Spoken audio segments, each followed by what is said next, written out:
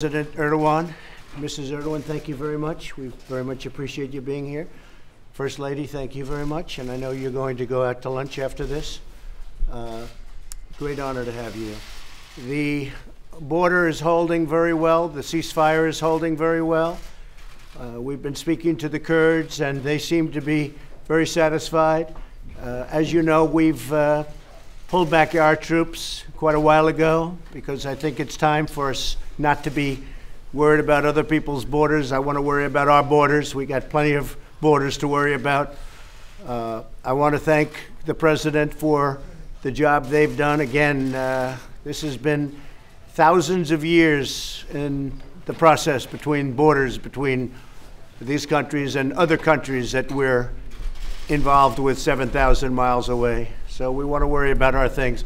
Uh, we're keeping the oil. We have the oil. The oil is secure. Uh, we left troops behind only for the oil. And uh, I have to just finish by saying that the president and I have been, we've been very good friends. We've been friends for a long time, almost from day one. And uh, we understand each other's country. We understand where we're coming from. I understand uh, the problems that they've had, including many people from Turkey being killed in the area that we're talking about. And he has to do something about that also. It's not a one way street. So I just want to say it's a great honor to have you both, and thank you very much. Thank you. Thank you. You go ahead. Ben teşekkür Please. ediyoruz. Bu arada sizinle yapmış olduğumuz bu görüş gurur duyuyorum gerçekten. Bu e, her şeyden önce sınırlarımızdaki ateşi sürüyor. Çok teşekkürler. Sizde çok dostluğumuz var. Şu anda bu sınırlar çok uzun. 7 bin kilometre uzaktan bir sınır ödüyoruz. Çok uzaktan. Dolayısıyla herkesin kendi sınırını kontrol etmesi gerekiyor. Sizin onun arkadaşları, dostluğunu ben çok memnunum şu anda. Ve Türkiye'de gerçekten iyi işlerimiz var. Okay. Would you like to say something? Thank you. Sayın Başkan zaten biraz sonra çok geniş detay basın toplantısı yapacağız. O bakımdan tekrar burada herhangi bir ifade kullanmama gerek yok. Basın toplantısında etraflıca her şeyi anlatacağım. Well, Mr. President, thank you. In a few moments, we shall be having a larger scale press meeting. That's why I don't feel the need to come up with longer statements here. Thank you. Okay, well, it's true, a lot of truth to that. Uh, I will say, we're also talking about a trade deal. We do proportionately very little trade with Turkey. Uh, They make great product. We make the greatest product in the world, and frankly, we're going to be expanding our trade relationship very significantly. We think we can be doing $100 billion with Turkey, and right now, we're doing about $20 billion. But we think that number should be easily $100 billion, which would be great for Turkey and good for us. Uh, So we're going to be expanding. We have our people from Commerce here. That's one of the meetings we'll be having. And having that big relationship, I think, is a very good one. So we think we can bring trade up very quickly to about $100 billion between our countries. Okay? What, what do you do, Mr. President, about the S-400s in terms of? We'll be talking about it, John. We'll be talking about the S-400. We'll be talking about that, and we'll be talking about the F-35 fighter jet, too. Are you satisfied with the ISIS fighters that Turkey is keeping an eye on? Are you happy so far? Turkey is watching the ISIS fighters. When I became president, ISIS was all over the place. I had no idea to the extent.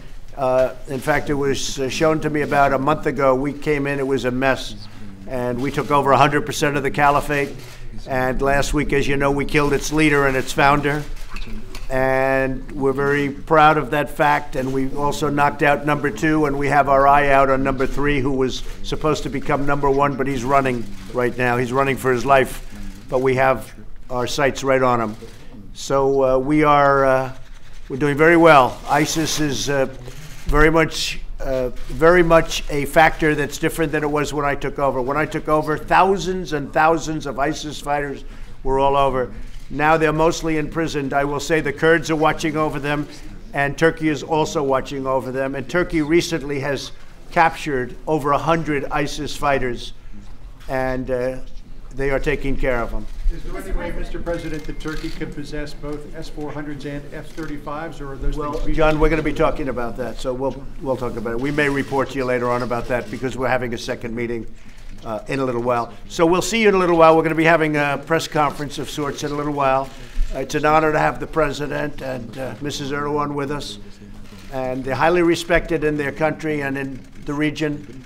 And uh, we'll see what we can do. But the relationship that we've had is good. And, you know, I've heard all the pundits uh, three, four, five weeks ago.